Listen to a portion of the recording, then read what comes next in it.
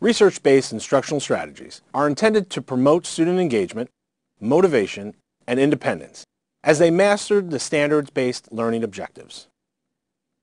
The strategies include general approaches that can be applied across a variety of content areas, such as questioning strategies, providing feedback, summarizing, and note-taking. Instructional strategies also include specific approaches to instruction that are designed to help students acquire a deeper understanding of specific content and develop critical thinking skills. Examples of these specific approaches include the following. 1. The Socratic Seminar. 2. Inductive Model. 3. Direct Instruction. And 4. Concept Attainment. So why are research-based instructional strategies important? Instructional or teaching strategies help teachers to make their instruction systematic and efficient. They act as a blueprint for teaching and learning.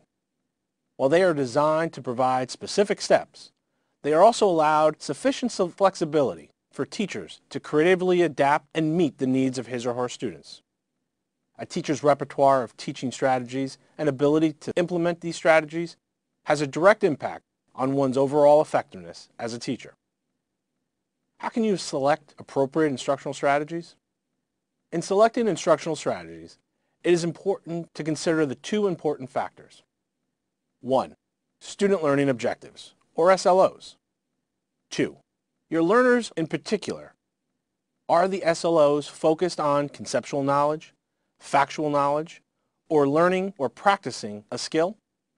In addition, the background knowledge, learning styles, diverse needs, interests, and preferences of your students all play a role in determining which instructional strategies will be most effective.